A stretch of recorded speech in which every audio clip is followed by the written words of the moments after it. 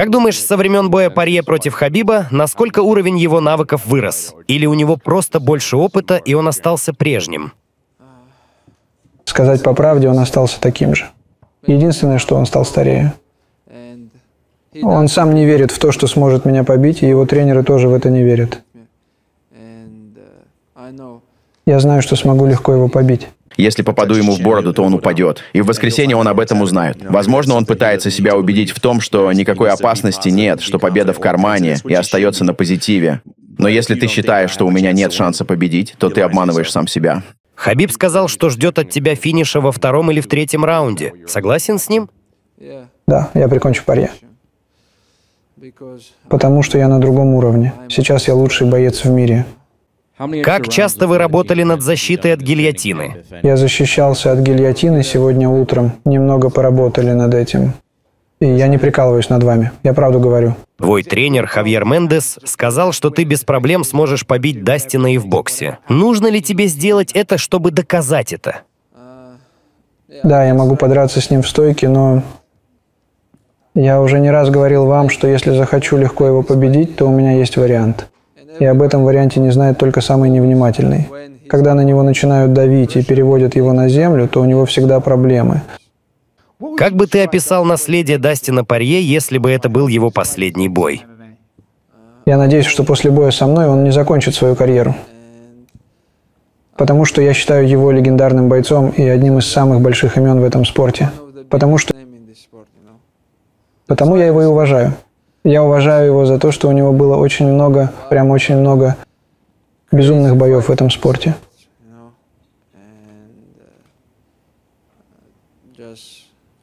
Поэтому я буду по-настоящему рад побить кого-то с таким громким именем, как Дастин. Потому что для наследия это будет, наверное, самое громкое имя в моем резюме.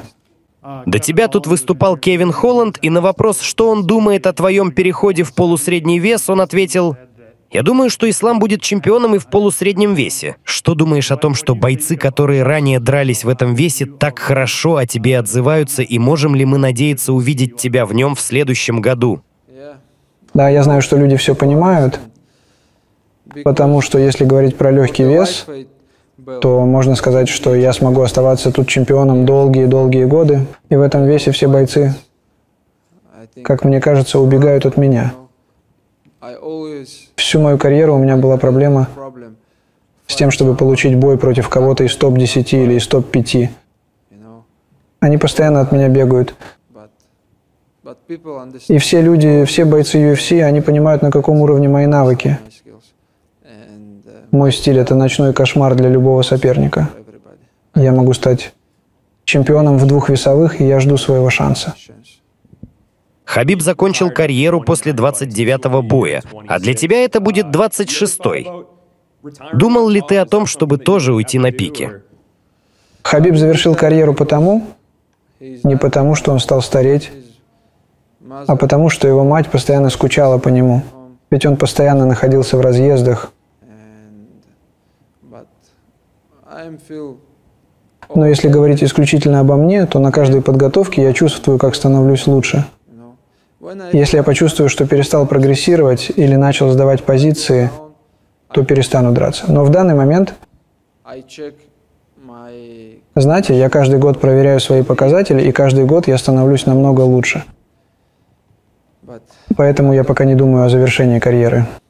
Потому что в данный момент у меня поставлены некоторые цели – Некоторое время с вами тренировался Белал Мухаммад, и он сказал, что Хабиб — это Майкл Джордан, а ты — Леброн Джеймс в ММА. Насколько тебе приятно слышать подобные слова в свой адрес? Белал — это наш общий близкий друг, и он всегда приезжает готовиться с нами, когда может. Он помогает нам, а мы помогаем ему. Короче, друг другу помогаем. Если Белал победит Леона Эдвардса, то изменятся ли твои планы относительно полусреднего веса? Это, конечно, довольно сложный вопрос, но мне кажется, что он сможет побить Леона, потому что я много раз видел, как он тренируется. Он постоянно много работает над наработками, и он прекрасно понимает, в чем у него есть большие пробелы. Поэтому он просит помощи у Хабиба и у других ребят, кто хорошо умеет бороться. Он всегда хочет стать лучше. Поэтому если он и правда сможет побить Леона, то я даже не знаю. Нам придется присесть с менеджерами, с тренерами и с командой и досконально обсудить этот вопрос. Почему для тебя настолько важно иметь Хабиба в своем углу? Думаю, Хабиб любому сможет помочь, если он угловой. Он давал мне хорошие советы во многих боях. Я помню, как я дрался против Глейсона Тибау, и Хабиб сказал мне, «Эй, попробуй ударить его левым боковым». Я сделал, как он сказал, и прикончил Глейсона. А потом я дрался... Я дрался против Хукера, и Хабиб дал мне хороший совет. Благодаря его совету я прикончил Хукера, проведя Кимуру. Потом, когда я дрался за пояс, он тоже давал мне много хороших советов. Так было всегда. Поэтому иметь Хабиба среди угловых – это всегда хорошо. Ислам, еще один вопрос про Хабиба и его нахождение в углу. Есть знаменитое видео, где э, он подсказывает, работает, Долбарик работает достаточно эмоционально. Э, тебе было бы близко такая манера подсказа или что-то более лайтовое, чтобы тебя не нервировало? Вот как ты обращаешь на это внимание, ну, обращаешь ли? Я всегда слушаю своих угловых э, и стараюсь слушать и не даю им такой возможности нервничать или что-то там слишком кричать, чтобы я услышал. Стараюсь слушать постоянно свой угол. Ислам, еще один вопрос по поводу Парье. Э, все боятся его гильотины, но при этом он никогда ей не выигрывал. А единственный, не единственный, кто выигрывает часто это Шавкат Рахмонов. Ты понимаешь разницу между гильотиной Шавката и Парье, и в чем, что делает не так Парье, чтобы выиграть именно этим приемом? Я так, честно, не разбираюсь, кто ее лучше делает. А, просто, наверное, надо подобрать момент, а, потому что удушающие именно а, в начале тяжело бывает сделать, но Дастин прыгает в любое время на гильотину. Когда он уставший, это вообще плохо идет. Лучше всего, когда, ну, соперник, ну, может, Шавхат больше разбирается в этих моментах. Просто надо понимать вовремя, когда вот гильотина пройдет. Это а, знаешь как, это даже, даже когда ты берешь шею, и на руке прилегает к руке шея соперника, ты уже должен понимать, пойдет удушающий или нет, чтобы просто лишний раз силы не терять. Но для этого ты должен очень много времени проводить в этих позициях, чтобы ты начал уже закрытыми глазами это понимать. Ислам, еще один вопрос. Э, не, не про бой непосредственно, а такой более жизненный. Э, вы, у вас в паре очень мало общего, но при этом есть одно общее, вы воспитываете дочерей. Как ты думаешь, э, в будущем ваши дочери могли бы познакомиться, чтобы твоя дочь имела возможность по-английски поговорить и дружить? Да, может. Если какой-нибудь боец UFC там с Америки приедет в гости в Махачкалу, мы обязательно его встретим, если с семьей приедет, расселим, покажем кавказское гостеприимство. Салам алейкум, ислам. А твой тренер Хавьер Мендес сказал, что вот, если бы вы дрались паре по боксу, то бы, ты бы его и по боксу перебил. Ты думаешь, твой бокс уже настолько вырос или он немного преувеличивает? Ну, я знаю, что я могу с любым соперником драться на равных в стойке, там, там, не знаю, ногами или что-то такое. Но я не считаю себя лучшим боксером или лучшим борцом, лучшим грэплером. Я считаю себя лучшим бойцом ММА на сегодняшний, на сегодняшний день. И из-за этого я могу и бороться, и драться в стойке, и грэплить с любым соперником. Я это и показал. Я дрался с Волконовским в стойке, ничем ему не уступая. Я боролся с Оливейрой, у кого есть больше всего финишей. И я по праву себя считаю номер один панфу паунд боец. Ислам, еще один вопрос. Раньше ходили слухи, что Хабиб перестал э, быть в твоем углу, чтобы не забирать у тебя славу чисто от твоих побед за счет своих прошлых достижений. А в этом бою он опять в твоем углу. Это значит ли то, что на этом бою больше стоит, э, чем э, забирать у тебя славу? Наша команда вообще мы никогда даже об этом не разговаривали. Я никогда об этом не думал, чтобы забирать какую-то популярность или мы здесь не для популярности, мы чтобы друг другу помочь. И если он видит шанс где-то, что он может помочь, может присутствовать, то он будет всегда рядом с нами. Даже когда он не был у нас в углу, он был полностью включен в подготовку, ездил с нами на сборы, э, помогал нам, секундировал нас на сборах. Ну, он взял просто паузу, отдохнул и вернулся. Он никуда не уходил, просто он взял паузу, отдохнул от всего этого, потому что даже если начну объяснять, люди не поймут, сколько он времени провел в поездках, помогая, сам готовился. И из-за этого, я думаю, ему нужна была эта пауза. Дастин, ты уже не раз дрался за титул чемпиона, но ты, как и многие другие, считаешь это своим последним шансом. Учитывая это, насколько важнее становится этот бой?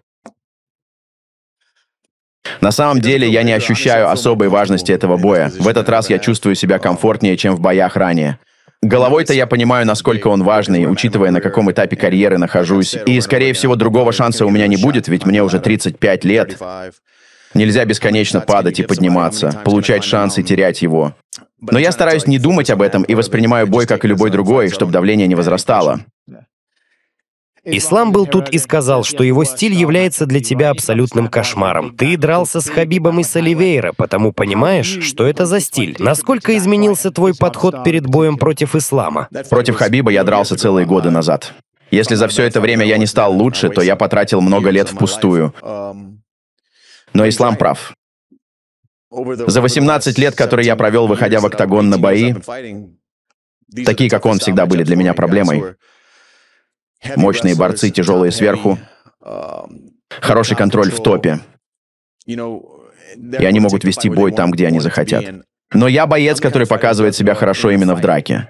Но не против тех, кто старается превратить это в спортивное состязание. Мне нужна именно драка.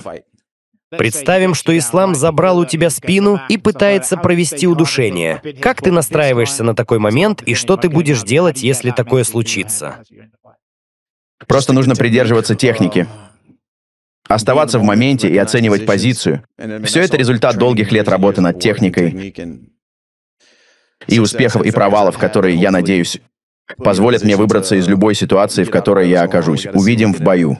Ислам был тут и сказал, что ни ты, ни твой тренерский состав не верите в то, что у тебя получится его победить.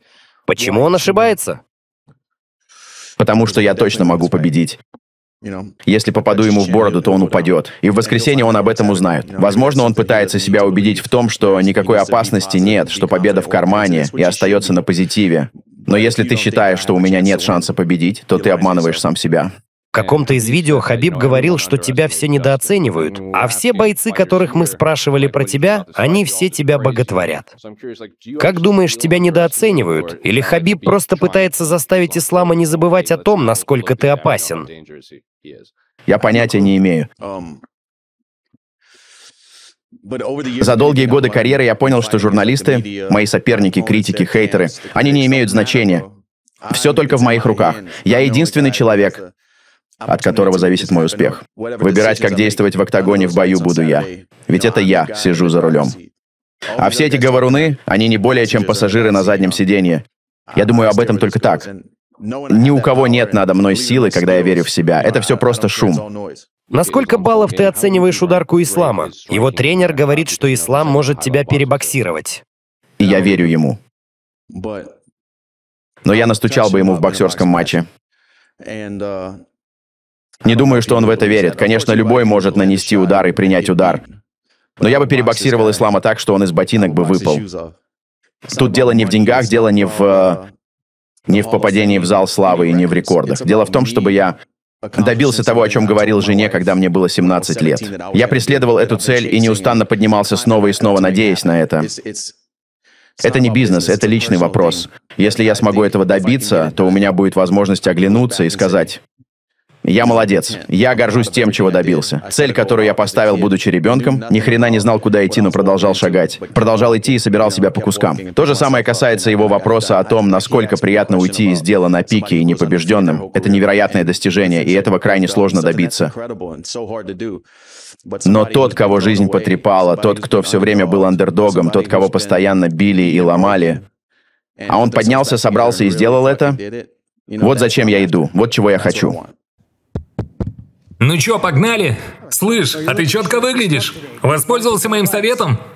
Похоже, кому-то теперь дают. Еще бы. У тебя, наверное, точно есть или подруга, или друг. Выглядишь красиво. Молодец. Большое спасибо. Твоим противником будет Паула Коста. Тебе не кажется, что ваш бой – это поединок между тем, кто хорошо бьет джебом, и тем, кто постоянно наносит сильные и одиночные удары? По сути, Коста это очень базированный боец. Но это совсем не значит, что он хреново дерется. Он отходит, взрывается и думает, как тебя ударить. В этом весь Коста. Отошел, взорвался, нанес какой-то удар и начал тебя давить. С ним нельзя быть идиотом. Я лучше, чем Коста. Это знаем мы, и это знает он. Я, конечно, допускал ошибки в боях. Было такое. Но сомневаюсь, что в бою против Коста будет именно такой случай. Сильно ли ты был расстроен, когда тебе не дали незамедлительный реванш против Дрикуса? Знаешь, мужик, скажу пару слов об уродах, которые высчитывают, нужно проводить бой или нет. Это все аналитики со своей аналитикой. Они посчитали, что я смогу заработать гораздо больше, если поставят кого-то вместо меня. Я их не понимаю. Думаю, что большинство отдали победу мне, и большинство Большинство хотело, чтобы я получил реванш, но я поднасрал канадцам. Что еще можно было ожидать в итоге? Как думаешь, если Израиль побьет Дрикуса, то ты выйдешь против Изи или хочешь реванша с Дрикусом? Даже не знаю, как тебе ответить. Я просто думаю, что Дрикус побьет Изи, хотя Изи может и подловить. Сегодня одна из компаний искусственного интеллекта провела анализ на самого красивого бойца UFC и... Я победил? Погнали нахрен! Нет, ну пошел ты в жопу тогда! Ты стал пятым? Охренеть! Хотя я не удивлен, ведь в UFC полно настоящих страшилец. А кто номер один? Конор Макгрегор? Не, нахрен. Этот маленький гребаный лепрекон? Конор похож на чувака, который регулярно подставляет голову под струю мочи. Как это вышло? Что думаешь про Шона? Он был чемпионом, он долго поднимался, много болтает, часто говорит сумасшедшие вещи. Что ты о нем думаешь? Даже не знаю. Иногда он немного сходит с ума и начинает себя крайне странно вести. Но ничего не поделать. Думаю, в глубине души он хороший парень. Он патриот. Желает лучшего для своей страны и для своих людей. И я тоже. В каком-то смысле мы с ним находимся на одной стороне. Но...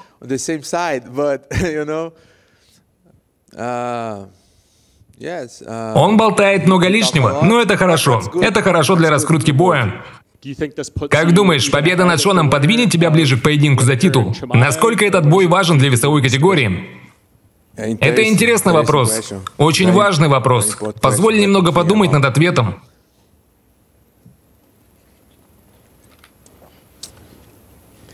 Я думаю, что учитывая то, что Шон уже бил Адесанье, если Адесанье побьет... Э,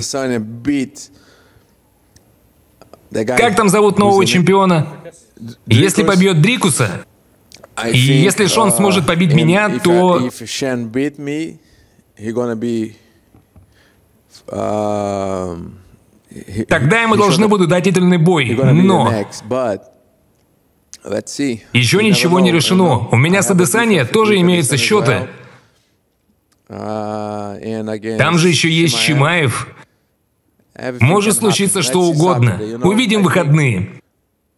Я думаю, что тот, кто выступит лучше в воскресенье, тому и дадут право драться за пояс.